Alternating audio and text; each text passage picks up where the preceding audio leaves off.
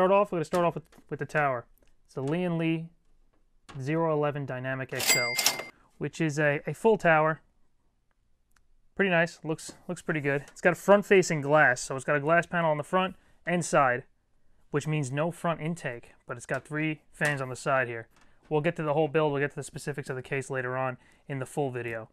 Um, Kraken Z73.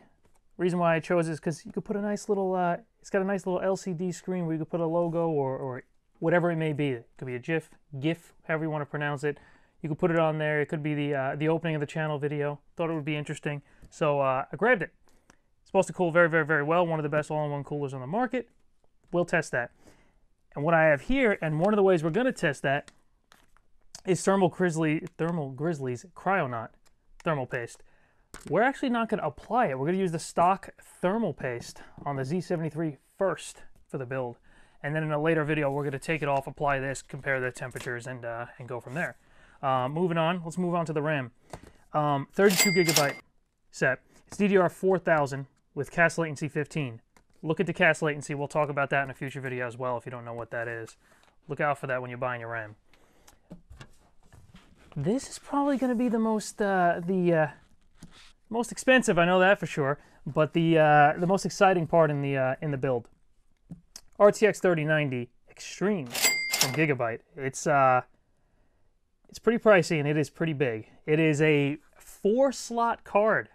So you will probably not be getting any additional video cards into this uh, into this build if you want to SLI or or anything of the sort because uh, it's going to take up pretty much your entire your entire space for video cards in your uh, PCI Express ports.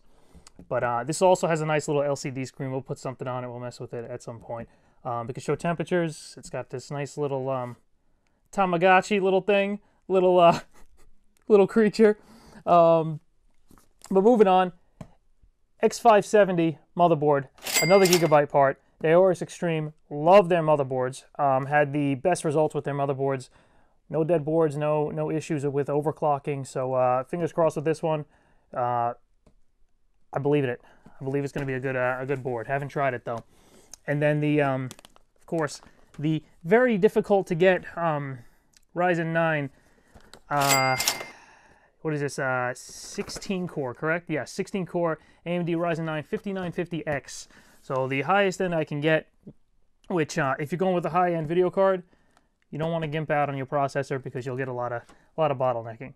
Um, moving on, um, EVGA 1200 watt power supply to support all of this very very high power draw parts, and then of course the three boxes I knocked down, which are 2 terabyte M.2 drives, uh, PCI 4.0, PCIe 4.0 drives, which is uh, new, new to the market, as you know, with the X570 boards and the uh, the newer Ryzen processors.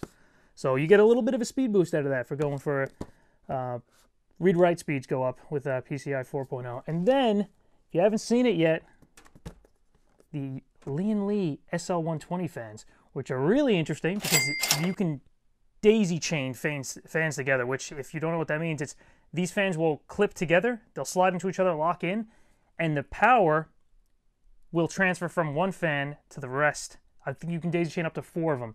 Uh, we'll only be doing three because of the, uh, the configuration in the case, but uh, it'll be three at the top, three on the side, and then uh, three at the bottom as well. Hopefully we can get those three in the bottom in there, and then one in the back for a total of 10 fans. Um, that's why I got three. There are three fans per kit, but they also sell single fans.